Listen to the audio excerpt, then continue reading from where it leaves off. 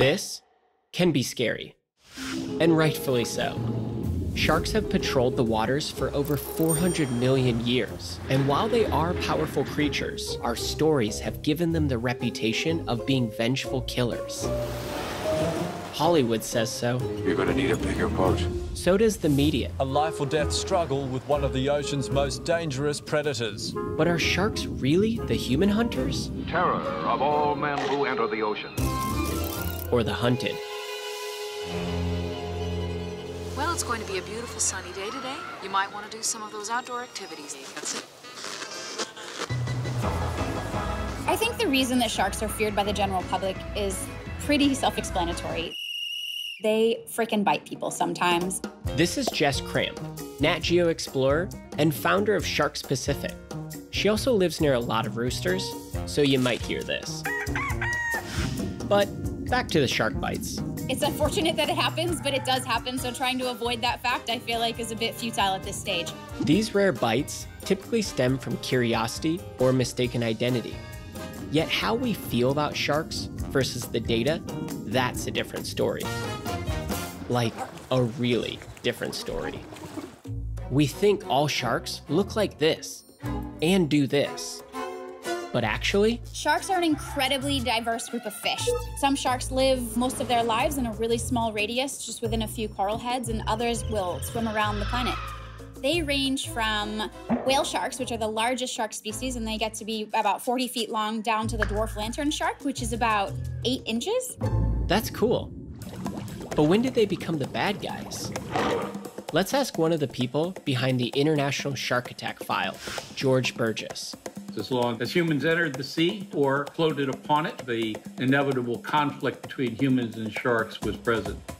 From the Greeks, Romans, and Spanish explorers, tales were written about battles with sharks.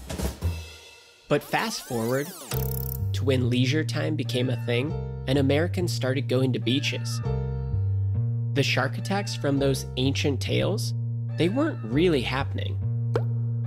It became obvious that shark attacks certainly wasn't as common as people were saying it was. So the pendulum had swung from one side to the other. And this millionaire was so convinced shark attacks weren't a thing, he offered a $500 reward to anyone who could prove him wrong. Wild dude. As in, would jump into the water with a real shark at parties wild. Yeah. Also, many scientists at the time agreed. Until this happened. When 1916 came around and there was a series of attacks that occurred on the New Jersey coastline, suddenly the real world slapped everybody across the face.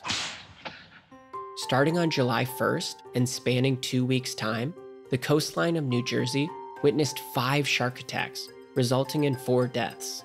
People were spooked. Locals even attempted to fight back by throwing dynamite into the water. Seriously, Because the New Jersey coastline was a popular vacation place for the elite, including the president, there was immediate concern and action that we had to get this taken care of because I got a vacation already planned later this summer. the White House agreed to give federal aid to drive away all the ferocious man eating sharks which have been making prey of bathers. Eventually, they put the blame on an 8 foot juvenile great white. But by then, it was front page news. The damage was done. While 1916 played its role on Shark's reputation, it was a fictional story that really did a number. Yep, you guessed it. The book and the movie Jaws, as in any good cinema or any good book, if you can get the reader or the viewer fully immersed, then you've done your job. Consider the audience immersed. The novel by Peter Benchley spent 44 weeks as a bestseller, and the movie became the largest grossing film at the time. It essentially created the summer blockbuster. People believed every last bit of that is fact, even though it took great liberties with facts, some knowingly and some just because we know more now than what we knew then. One such belief was that sharks are vengeful human hunters, which in turn led to a surge in humans hunting them. shortly after the movie came out, there was a great influx in shark fishing tournaments up and down the east coast of the United States. As a result, shark population began decline.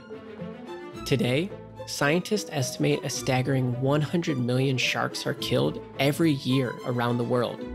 And to make matters worse, sharks are especially vulnerable because they take longer to mature and typically produce their young at a slower rate. So, sharks are in trouble. While habitat destruction, pollution, and climate change are definitely problems for sharks, our biggest impact is through fisheries.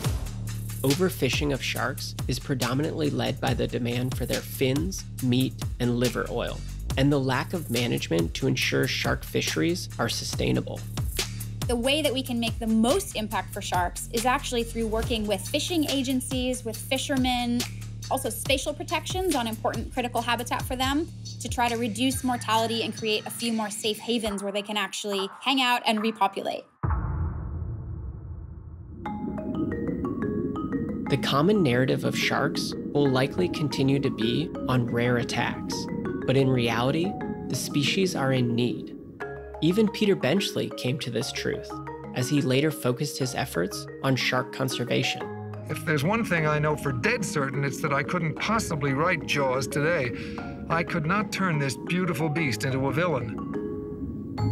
Shark conservation is not a one size fits all. It's a multi pronged problem, but they are fixable. And that's the one thing that I think is really important for people to know is that these are problems that while we may have created them, they are fixable.